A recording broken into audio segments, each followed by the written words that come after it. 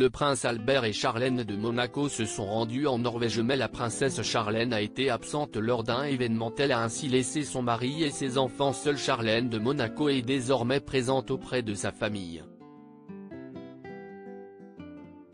Après des mois loin des siens, l'épouse du prince Albert est souvent à ses côtés pour représenter la famille princière lors d'événements publics. Mais voilà que la mère de Gabriella et Jacques a faussé compagnie à son mari.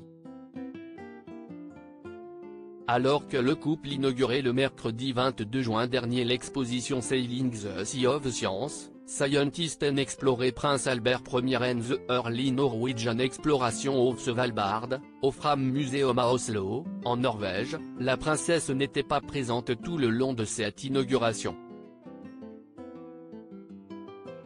Selon les révélations du magazine Vanitatiel Confidential, Charlène de Monaco n'était pas présente à l'inauguration d'un buste en bronze d'Albert Ier à l'Institut polaire norvégien de Loirbion et à la croisière privée à bord du commandant Charcot dans les eaux de l'archipel du Svalbard. Du côté du prince Albert, il a pu poursuivre son périple, aux côtés de ses jumeaux. En effet, le jeudi 23 juin, ils ont visité l'Institut de recherche du Svalbard. Avec son fils, le prince Jacques, ils ont effectué une visite privée du parc de recherche de l'Herbion et Svalbard lors d'un voyage. Si la princesse Charlène était absente, elle a retrouvé sa famille lors de l'inauguration de l'exposition en l'honneur de l'arrière-arrière-grand-père de son époux. Un baiser langoureux entre Albert et Charlène de Monaco lors de cet événement, le couple a d'ailleurs échangé un baiser.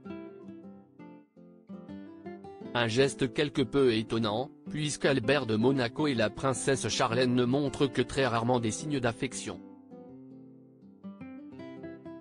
De quoi faire taire les rumeurs d'un possible divorce.